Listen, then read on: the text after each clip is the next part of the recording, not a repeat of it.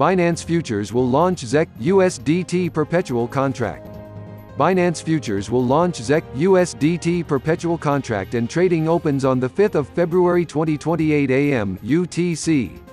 Users will be able to select between 1 to 50x leverage. To prevent market manipulation, Binance will implement a pricing limit of plus or minus 1 on the mark price within the first 15 minutes after trading starts, this is stated in the official press release. Stay with us. The news release partner Stex.com.